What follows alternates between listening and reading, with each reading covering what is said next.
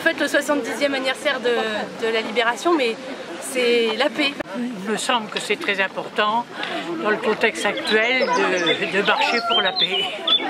Moi j'ai entraîné ma sœur là, qui voulait pas venir pour euh, venir marcher. C'est un moment convivial euh, entre familles.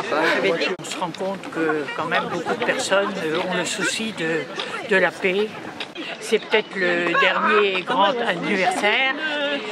Je pense que c'est normal que beaucoup de choses soient mises en place et que ce soit fêté dignement. Et puis être en famille, être tous ensemble, on est combien? On est là, 8. Et puis marcher pour la paix surtout.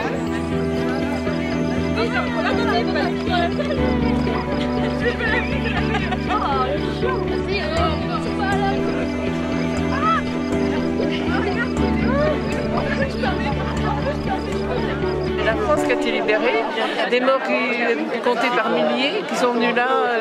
Nous, est-ce qu'on enverrait des jeunes se faire tuer pour, en Amérique pour la paix? Je sais pas. Ben, ça, ça, fait chaud au cœur, c'est vraiment agréable. On voit que les gens veulent découvrir, venir faire la région et puis participer à cette marche.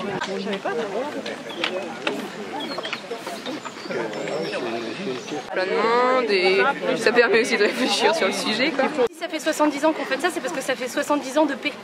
Donc, euh, et c'est quelque chose qu'il faut qu'on continue de cultiver.